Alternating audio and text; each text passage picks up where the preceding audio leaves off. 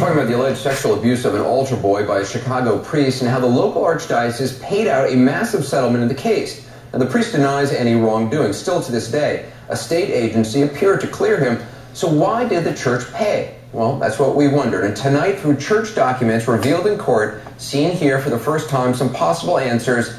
And as you'll see, they are damning. Here's part two of Gary Tuchman's Keeping Them Honest report.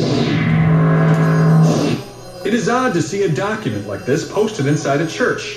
An Illinois state agency declaring credible evidence of child abuse has not been found. The priest at the church, Father Chester Przybylo, wants everyone in the church to know molestation allegations against him are false. I don't have any doubts about Father. And yet, there is this question why did the Archdiocese of Chicago agree to a huge settlement with a former altar boy who accused Father Chester of molesting him for years? You're angry with the officials for yes. the settlement. Yes, yes, because they never really had to do that in the first place.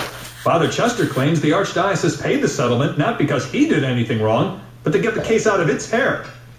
Notably, the Archdiocese of Chicago is not in control of Father Chester's church. The church is independent.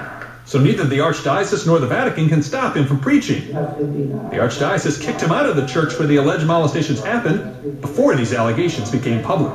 But the, the implication is they said you did this. they said it's believable. They didn't say I did it. But the church did pay the settlement, despite the state agency issuing that finding. However, the agency did not know a lot of the story. The church did not provide it with this stack of papers we now have. For more than a quarter century, the Archdiocese of Chicago had documentation about Father Chester, but it was all kept secret until it was subpoenaed. The records obtained by the former altar boy's attorney show the Archdiocese had serious concerns about Father Chester for many years. Allegations from other priests who suspected he was a child molester.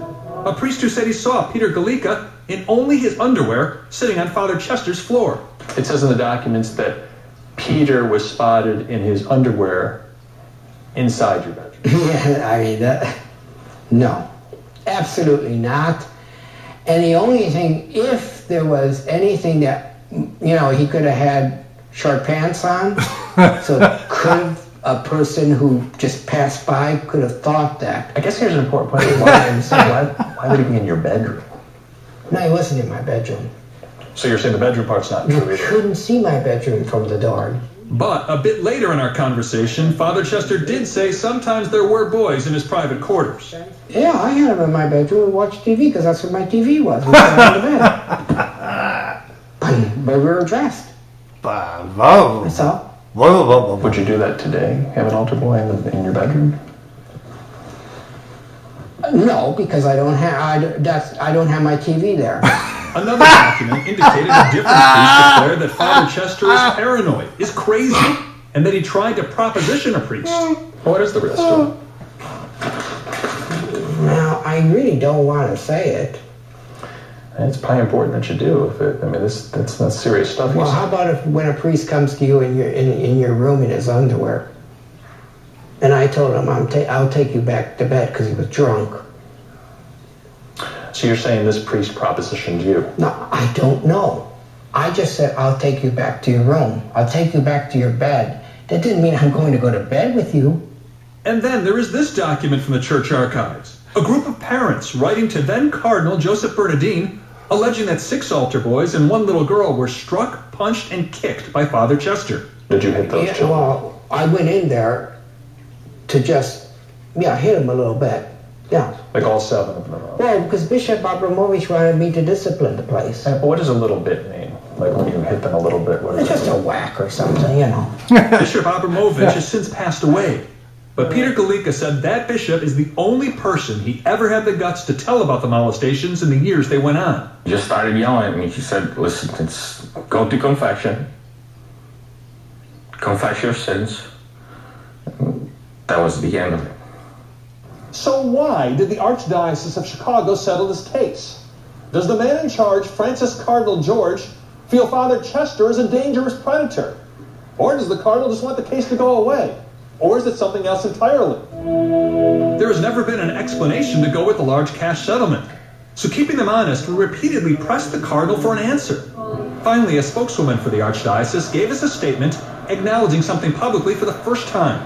The Archdiocese Independent Review Board received an allegation of sexual misconduct with a minor regarding Father Przybylo. In March of 2007, the review board found reasonable cause to believe that abuse occurred, and the allegation was substantiated. So the church now tells us it does indeed believe child molestation occurred. But the priest's attorney, Walter Maxim, tells us the archdiocese has thrown the priest under the bus. They did no investigation. There's never been a hearing. They never even discussed this with Father Przybylo. Both Peter Galika and Paul Gill say they've tried to kill themselves over the years. They are bitter and angry. If he walked into a room you were in now, what would happen? I would rather not have that happen Because because I would hurt him. I would hurt him gravely. Paul Gill hasn't filed a lawsuit as of yet, but the archdiocese is paying for counseling for him. how does it make you feel that he's still an active priest?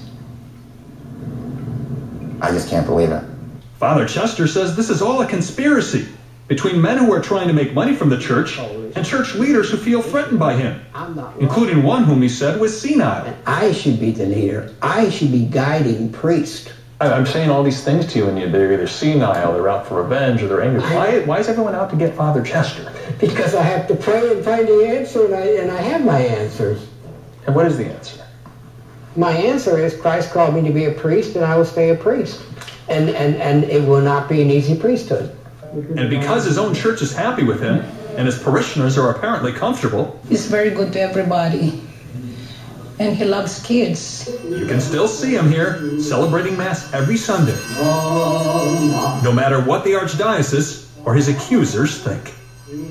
Gary Tuchman, CNN, Winfield, Illinois. Well, let us know what you think. Uh, the AC 360 blog right now. A lot of people talking about this. A few other points Jesus.